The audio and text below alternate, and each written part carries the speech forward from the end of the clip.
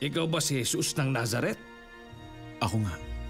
Tinatawag ka nilang guro at isang propeta. Pero kasabay mong kumakain ng mga makasalanan at kolektor ng buwis.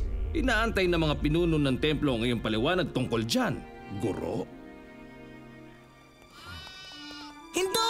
Rebelde, hindi ka dapat ng Kung ang sino pastulan! man sa inyo ay may isang daang tupa at mawala ng isa, ano ang gagawin mo? Hindi ba't iiwan niya ang samnaputsam sa pastulan at hahanapin ang nawawala hanggang sa ito'y matagpuan? At pag nahanap mo ito, lubos kang magagalak kaya't ilalagay mo ito sa iyong balikat at papasanin pa uwi. At aanyayahan mo ang iyong mga kaibigan at mga kapitbahay at sasabihin sa kanila, Makipagsaya kayo sa akin dahil nakita ko na ang tupa kong nawawala. Sinasabi ko sa inyo, magkakaroon ng higit na kagalakan sa langit dahil sa isang makasalanang tumalikod sa kasalanan. Kaya't siyam na putsyam na matuwid na hindi nangangailangang magsisi.